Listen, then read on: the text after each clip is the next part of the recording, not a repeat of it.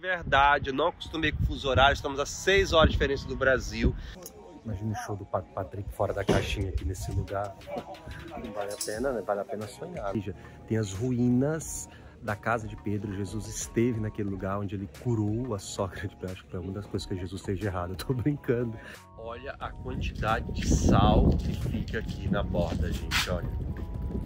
E a quantidade de sal aqui é gritante, dá pra ver aqui na areia. E por isso a gente não afunda. Viu, Juliano? Fique à vontade, porque bosta não afunda. Vai lá. Tô entrando aqui, não sei nem se pode. Uau, amém.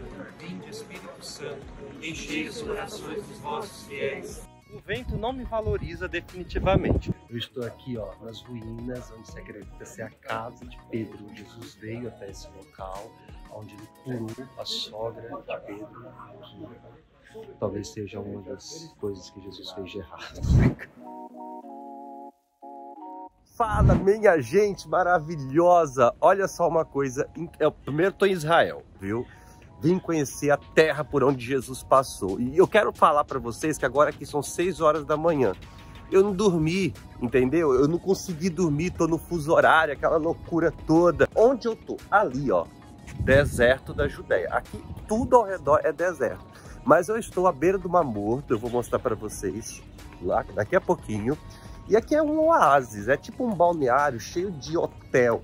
E tem, tá uma loucura aqui, tem gente me olhando feio ali. Ali, gente, olha, é o deserto da Judéia, tudo ao redor. Depois eu vou mostrar para vocês. É um desertão mesmo, né? E aí construíram aqui esse oásis. Eu estou hospedado nesse hotel aqui. Tem vários, tem vários hotéis como esse. Aqui tem até McDonald's, tem tudo. E lá tá o Mar Morto que não afunda. Você não vai afundar, Juliano, porque bosta não afunda, tá bom? O negócio aqui é igual uma cidadezinha, entendeu? Assim, só são hotéis mesmo, tem um centrozinho, comércio, tem um shopping também, tem até McDonald's. E em plena 6 horas da manhã vem um senhor. É bom que a gente está num país diferente, que eles nem entendem o que a gente está falando, caminhando de roupão na rua, porque espero que não seja brasileiro, tá ali. Tá vendo ali, ó? Tá ali, pessoa. E é isso aqui, as coisas exóticas que a gente vai vendo. Deixa eu mostrar aqui a avenida principal para vocês. É muito bonito, ó. A avenida principal para lá tem muita coisa. Tem McDonald's, cheio de hotel. Bonito demais esse lugar aqui. Gostei muito. Agora vamos lá no Mamorto, porque eu vim ver o pôr do sol até que dá a hora do café. Olha, olha lá, ó. tanto de hotel, sabe? Trem esticado. Está chegando aqui à beira do Mar Morto, ele é imenso, não é exatamente um mar, mas a gente está aqui no lugar mais fundo da Terra, mais abaixo do nível do mar. São mais de 300 metros abaixo do nível do mar. E por isso... Concentre, gente, já tem pessoas tomando banho lá. Ó. E por isso a concentração de sal aqui neste lugar, ela é imensa e isso faz com que as pessoas não afundem.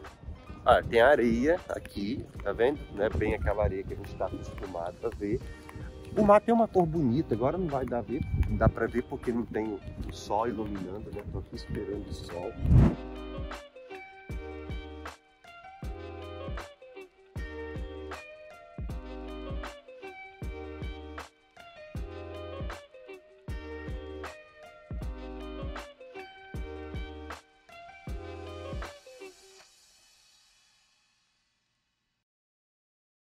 Olha lá, gente, o sol nascendo no Mamorto.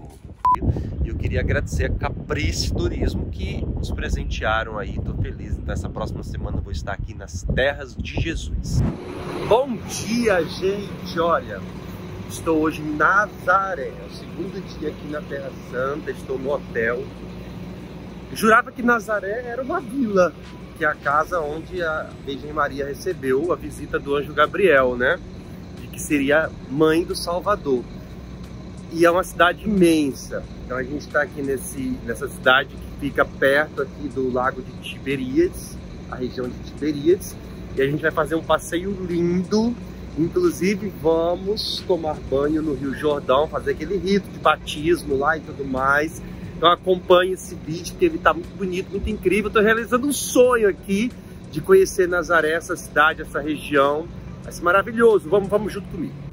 Agora nós estamos no exato lugar onde aconteceu a multiplicação dos pães e dos peixes.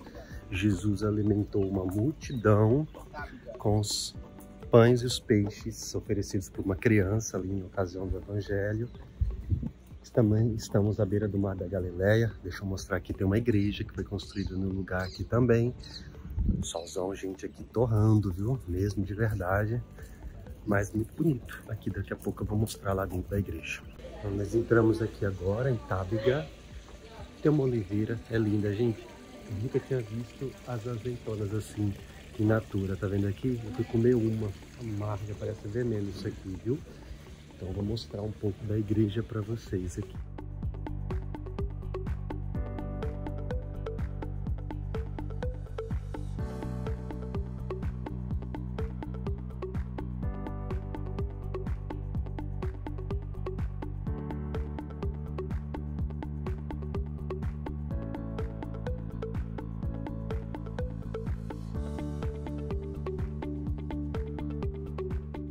Filmei ali o mosaico para vocês, né, dos peixes, que é um símbolo cristão, inclusive, né?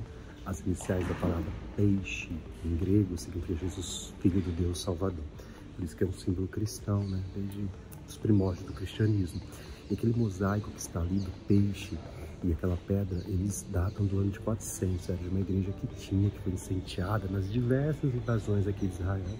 Essa igreja foi incendiada e depois foi reconstruída pelos monges beneditinos, uma igreja muito bonita, de pedra, né? Um lugar que é muito bonito também.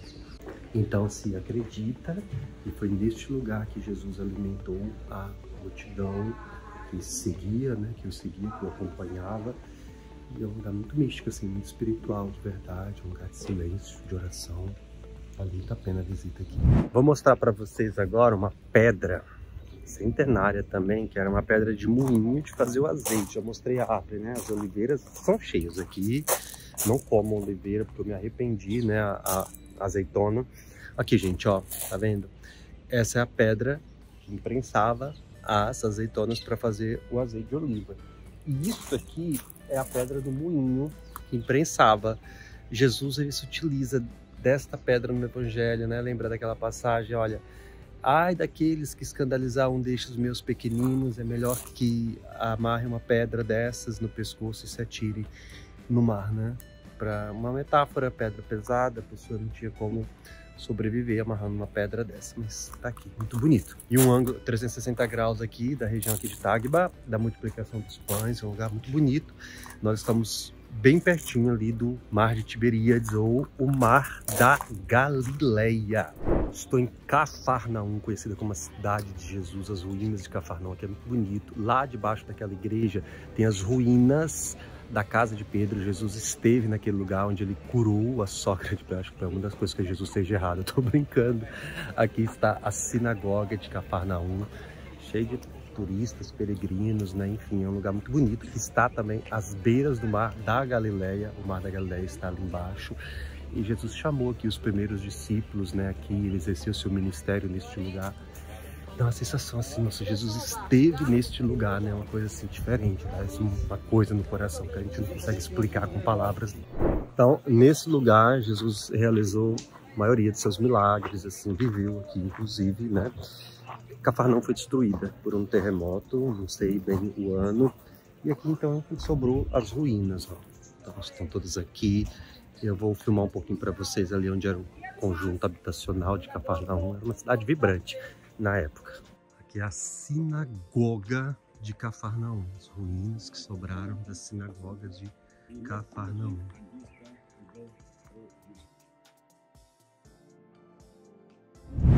Bom dia, gente. Bom dia, povo lindo maravilhoso. Eu estou muito feliz porque eu estou em Nazaré e vou visitar agora a Basílica da Anunciação onde a Virgem Maria recebeu a visita do anjo Gabriel. Aqui nesse lugar, nessa igreja, vou mostrar para vocês o Verbo de Deus se fez carne. Pessoal, estou aqui do lado da igreja. Essa igreja ela está exatamente em cima da gruta onde a Virgem Maria recebeu o anúncio do anjo Gabriel. Esses locais eles são precisos, assim, exatos, porque Nazaré, na época de Jesus, deveria ter umas 400 pessoas só, era uma vila muito pequena. E o que que acontece? Foi achado que a gente vai descobrir, visitar logo mais, uma carpintaria que nos leva a acreditar que era a carpintaria de São José também. Eu queria mostrar uma coisa para vocês que está escrito ali, ó. Aqui o verbo de Deus fez carne e habitou entre nós. Esse lugar realmente é muito forte, acho que eu, até agora o lugar mais assim que me causou uma sensação boa que eu visitei aqui na Terra Santa.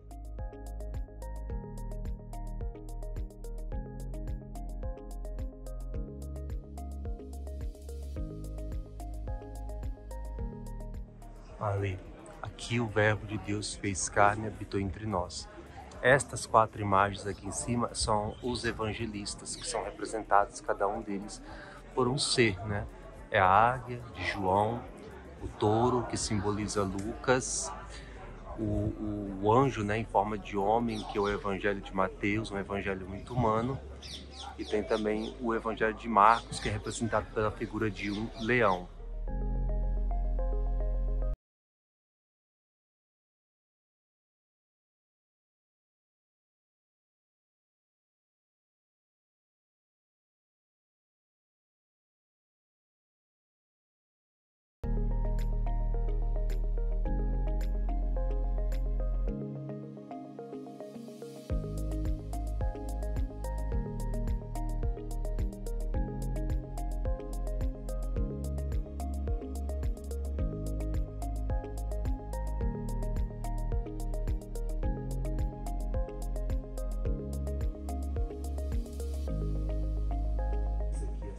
Do Senhor, faça-se em mim segundo a vossa palavra.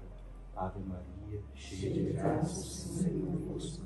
Bendita sois vós entre as mulheres, bendito é o fruto do vosso ventre, Jesus. Santa Maria, Mãe de Deus, rogai por nós, pecadores, agora e na hora de nossa morte. E o Verbo de Deus se fez carne e habitou entre nós. Glória ao Pai, ao Filho e ao Espírito Santo, como era no princípio, agora e sempre. Amém. A gente aqui realmente impactante até agora, o lugar mais forte assim que eu visitei.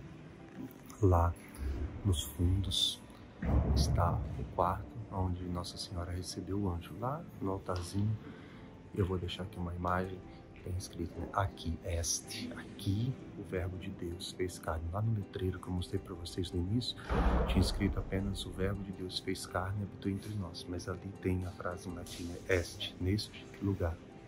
Estou aqui no pátio da Basílica da Anunciação, é um lugar muito bonito e agora a gente vai visitar a carpintaria de São José nas dependências da igreja mesmo, né? Da Basílica da Anunciação.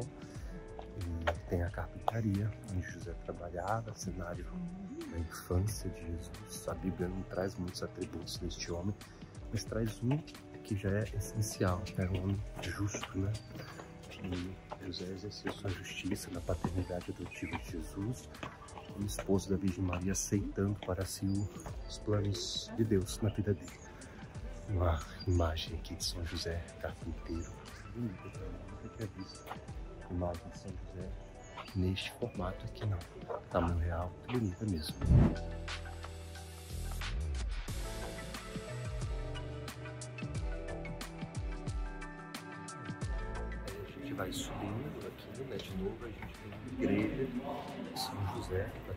Missa, por isso que tô falando baixo ali igreja muito bonita, uma igreja bem pequena em comparação à Basílica da Anunciação, que está logo aqui na frente. Né? Então, a casa de São José e a casa de Maria era uma quadra, assim, né? Muito próxima uma da outra. Maria estava prometida em casamento a José quando ela recebeu a visita do anjo Gabriel. Nazaré, como eu disse para vocês, uma vila muito pequena, de umas 500 pessoas na época, por isso podia ter mais de uma oficina aqui neste lugar, então se conheciam já desde sempre, né? E muito bonito. Nós estamos no anfiteatro aqui da época de Herói, gente, que coisa linda. Imagina o show do Patrick fora da caixinha aqui nesse lugar. Vale a pena, né? Vale a pena sonhar, né? Olha só, preservadíssimo ainda e acontece espetáculos, shows aqui. Impressionante, tem um palco aqui atrás, claro que o palco é estrutura montada, né? mas as arquibancadas do teatro elas são preservadas. Vou subir aqui ao teatro grande, viu? E descobrir que show que vai ter ali hoje. E lá de cima, Herodes, aqui tinha uma parede, né? Que era lindo. Ele mandou fazer, tinha um teto assim com vão, teatro original, porque ele não queria que a paisagem ofuscasse a obra que ele tinha mandado fazer. Mas dá pra ver o mar Mediterrâneo aqui de cima. Lindo! Deixa eu mostrar pra vocês. É grande teatro, viu?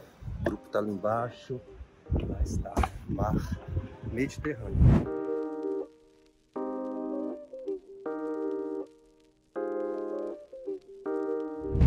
Eu estou no poço de Betesda, que Jesus curou aquele paralítico que há mais de 30 anos estava aqui. Outra coisa que eu queria dizer aqui, que eu tô com saudade das labaredas de fogo do meu Pará, porque o sol aqui, meu Deus do céu. Será que vocês já usaram uma vaiana na vida, meu Deus? Olha,